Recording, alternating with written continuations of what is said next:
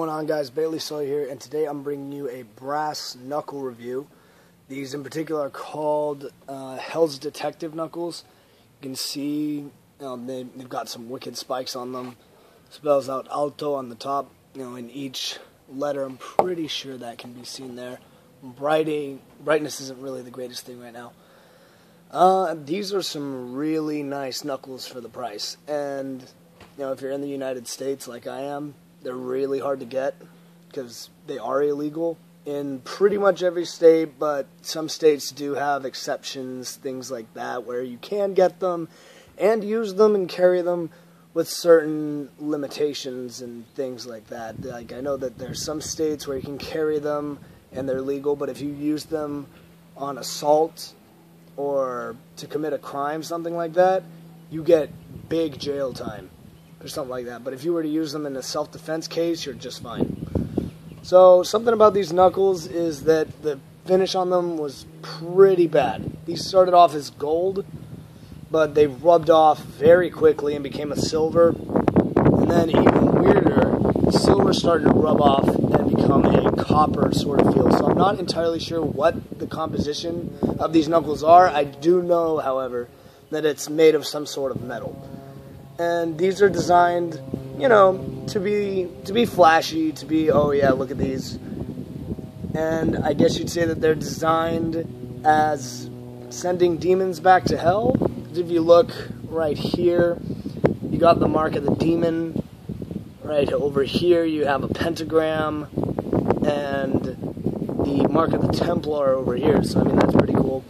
Then you have these two letters D D N I don't know why those are there exactly. I mean, I thought it was, this was an eye, but then I came to realize that these were just links between the holes. And then down there at the bottom it says hard ride, so I think that's pretty hilarious. Now, a lot of controversy about brass knuckles. They get a bum rap, especially about these. Now, I'm going to be honest, and, you know, I'm, it may make me sound sexist, but if you're going to pack something like these and you don't want to get in trouble for them, you better be a very scrawny man or an elderly woman because if you even have remote upper body strength and you get caught with these, oh man, it's it's going to be all kinds of bad. So I'm not saying that you could bend the law based on um, your appearance or your body type, but the odds of you actually getting in trouble for carrying something like these, if you're an elderly woman or a young frail woman they're they're very much lessened. You'd probably just get a warning because I mean, shit. If you have nothing else, might as well use these if you're being attacked, right?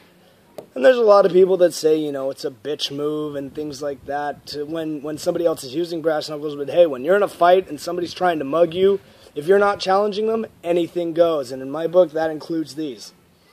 So yeah, that's just a little bit about the knuckles. And of course, I am going to be bringing you a test. This thing right here, and I hope my phone does not fall off when I do this. So I'm going to move it down a little bit. I'm going to see how much damage this thing could do. Don't worry, it has been emptied and just refilled with tap water because I know some people think that I'm wasting whatever. I've had that happen before, but don't worry. Just plain tap water. Here we go. All right.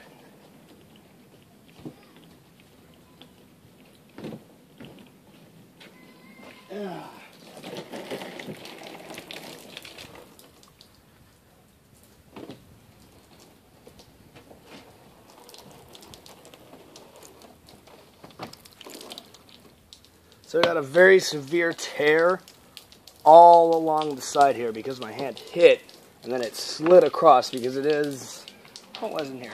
Canola oil, so the inside is definitely a lot more slippery. I can feel it right now on my hands. But it hit here and it just slid across and tore this entire part open. Like I said, you don't want to be carrying something like this unless you're really weak. Because if that was, you know, a person's face, they'd be needing some very serious stitches, broken jaw, things like that. So, you know, these are mostly for show. I would never use these against somebody on the streets. Maybe if somebody had broken in and I wasn't able to get to my firearm, this is something that I would grab really quick. But as far as, you know, actually trying to take these onto the streets, I would not recommend it. I'm gonna see if maybe I could get one more good punch in there. Still some water.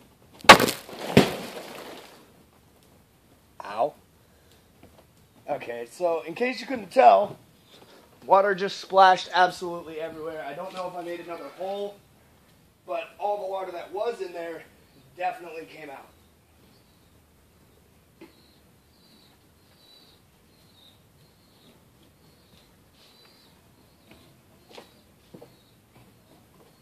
Yeah, I was not able to make another hole in it, but you know that's because there were plenty of openings for the water to go through. But you can see that there were some more holes made, some more spikes, and the water just blew out of here and the top got really bent it up. Bent. It's too early for this. So yeah, these things are very deadly and are not to be taken lightly. So I just wanted to make a cooler video about these and I do have some that are legal in every state, and I'll get onto that later. But I just wanted to show you guys some that weren't legal, and you know, just just have some fun. So thank you guys so much for watching. Like, comment, and subscribe for more weapons videos as well as video games, things of that nature. So I'm Baily Sawyer, and I'll see you guys next time.